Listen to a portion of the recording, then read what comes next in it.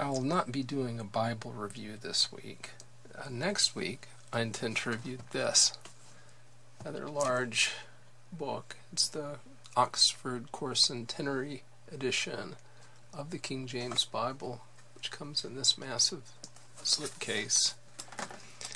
But to set, set the stage for that review, this week I'll do a brief, very brief book report on Gordon Campbell's companion volume, uh, Bible, the story of the King James Version. So we'll just briefly look at this text in a few places where it's of interest to me. Here's the uh, title page, copyright page, copyright 2010, published in 2010, the first paperback edition is 2011, and here are the ISBNs. Table of contents. So you have uh, a bit about the commissioning of the King James Version, the translators, the translation, first edition, history through the centuries, Cambridge Paragraph Bibles, the Revised Version, and um, the King James Version in the model, modern world. We'll look at just a few things that I found of interest. First, um, here in the introduction, he does mention that the book has been prepared in tandem with another project, which is an edition of the 1611 Bible as close as possible to the text of 1611, and that's the one we saw just a moment ago. I don't think it's actually as close as possible because it's in Roman type and the 1611 editions were in black letter. Um, in the introduction, he talks about the Bibles that were used by various presidents as they were sworn into office. Uh, this does not include the most recent inauguration because the book was printed before that.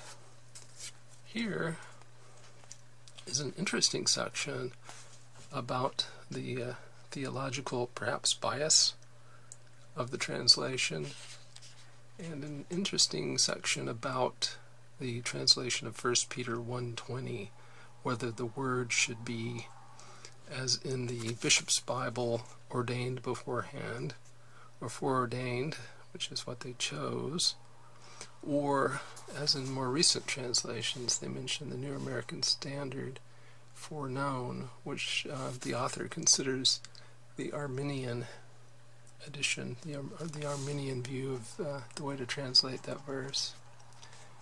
Later, this is this is very useful here. Here's the title page from the 1611 King James Bible, and if you've ever wondered who these characters are, uh, Mr. Campbell explains it to you here in the text on the right hand page and the following page. So I found that quite educational. There is a section toward the middle where he talks about uh, Mr. Parris at Cambridge and Mr. Blaney at Oxford and the extent and the impact of their revisions on the King James Bible.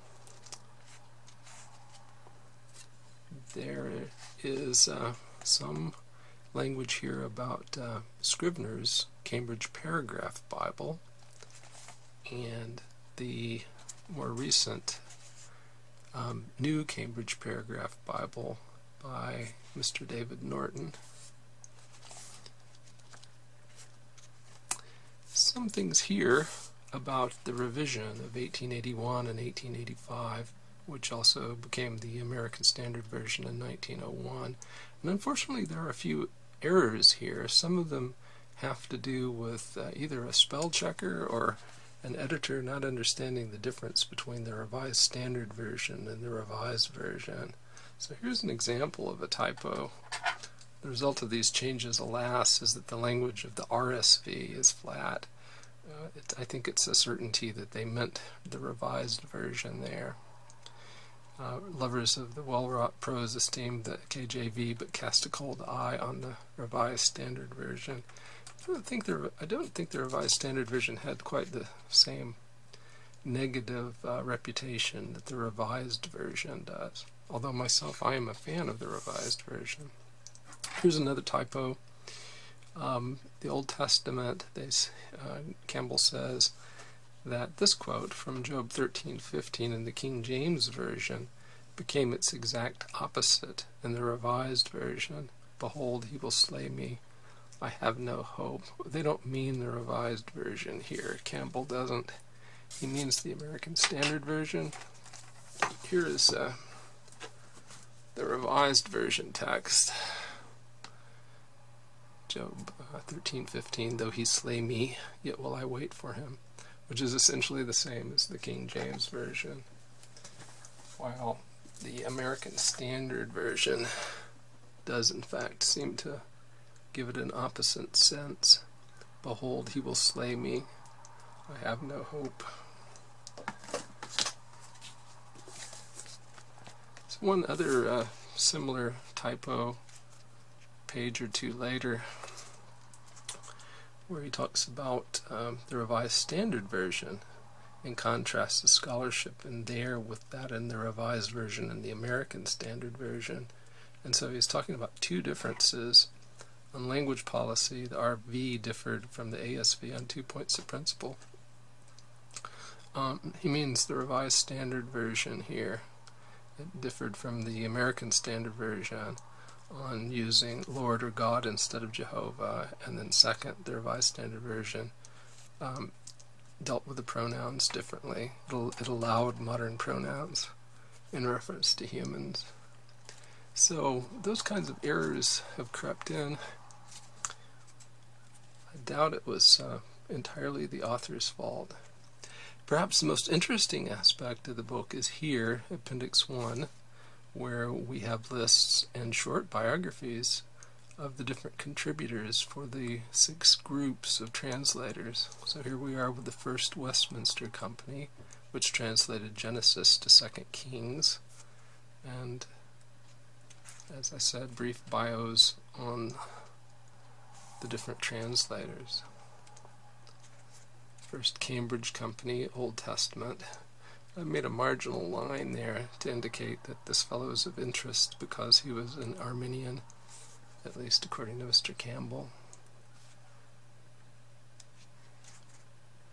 The first Oxford Company, second Cambridge Company for the Apocrypha.